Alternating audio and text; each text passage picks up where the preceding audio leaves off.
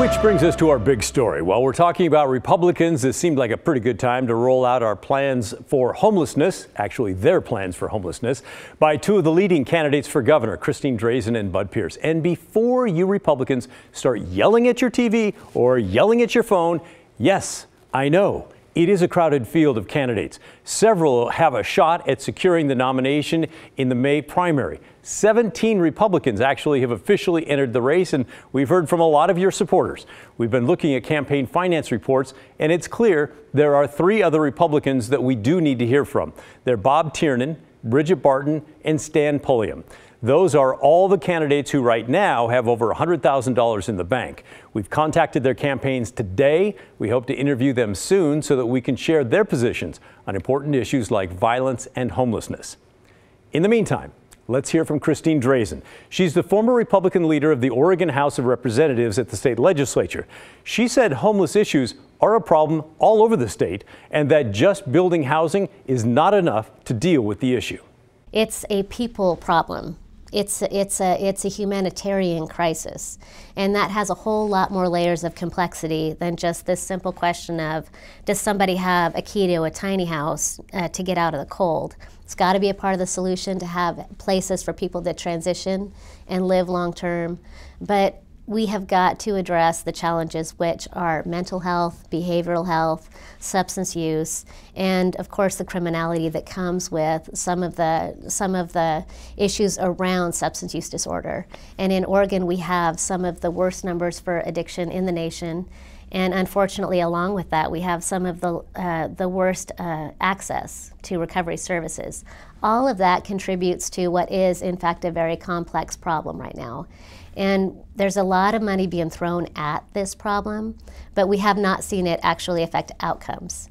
Would you back or would you support forcibly moving people off of the street if there were shelters available and they chose not to go?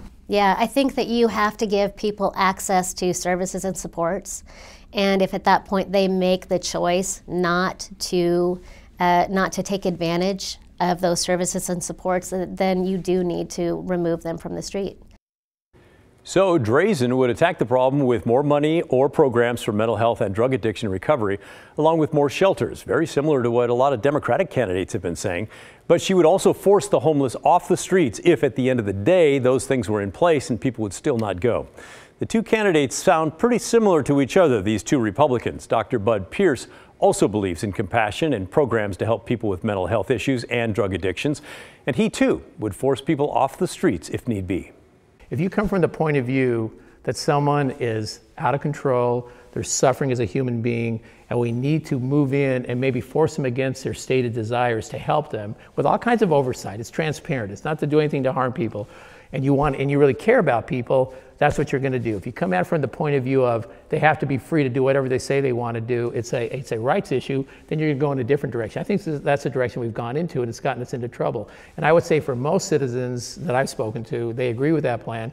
And if the law and the judges don't allow us to go that way, maybe we need to change the law and the judges. So it's basically, we're going to help you, we're on your side, there's advocates, there's overseers, there's transparency, but at the end of the day, you need to go be taken to a place that is there for your benefit to help you. And if you absolutely thumb your nose at that and go back to the streets, then you are breaking the law. And then you need to be sheltered in a way that you may not like with good, you know, with adequate food and shelter and, and medical care for a short period of time. And then we'll try you again. We're never going to give up on you. We're not going to ruin you with this, but we're not going to let you live on the streets and along the riverbanks and in the forests that's so harsh on you and harsh on us. So we just need to stop that. Again, it is a crowded field on the Republican side. We can't talk to every candidate because we simply don't have the time, but we are talking to every candidate who's both actively campaigning and has at least $100,000 in the bank. In the meantime, tomorrow night we'll hear from Democrats Tobias Read and Tina Kotek on how they would deal with the homeless problems in Portland and around Oregon.